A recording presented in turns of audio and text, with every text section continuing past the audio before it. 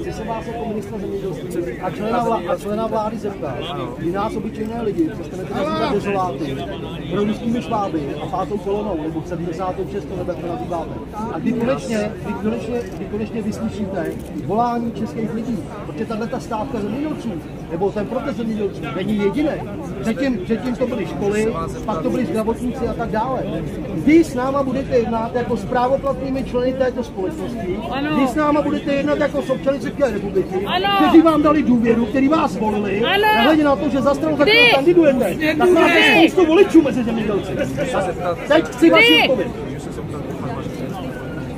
Vy se on zeptal, on zeptal vás. Odpovídejte, odpovídejte, ne- nekladete otázky. Já se vás zeptal jednu- mluvte s lidma.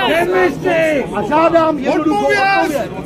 Vy s námi jednat jako s občany této republiky. Odpověď! Platí ze svých daní. I ty zemědělci. Je tady hodně zemědělců, tady čekají, tady přímo, přímo Nechcete tady, se mnou tady, mluvit? čekají na vás. Pojďte za nima mluvit, pojďte, vemte si mikrofon a pojďte mluvit s lidma.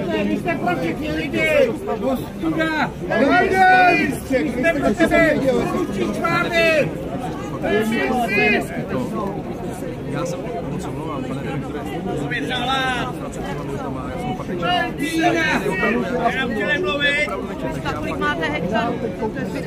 Tady přijelo tisíce zemědělců, mají tady zaparkovaný stroje, tak pojďte s nima mluvit. To je u vás korektní. Ale co vymlouváte? Loutka, která tady nemá Oni, svoje, oni svoje zdroje jídla Ani mají. mlíko nemůžou prodat, protože se to nevyplatí, že jo? To by z toho měli. To je prostě úplně hnus.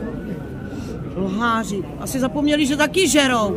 No ale oni mají svý zdroje, bez tak nějaký čerstvý masička z farmy. Jo, od toho Jurečky, ne? Od bratrance, kam se rvou peníze, od těch jejich kamarádů.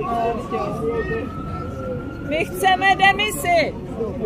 My takového ministra nechceme! My chceme demisi! Já se vás jasně ptám a chci jasnou odpověď. Dem, demisi!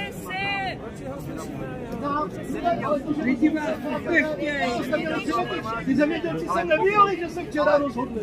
Ty, vás, ty, ty s váma jednají už několik let a vy jste k ním, vy jste k ním hluší. Nenechám. Protože vy, vy mi odpovídáte na to, Slyšíte?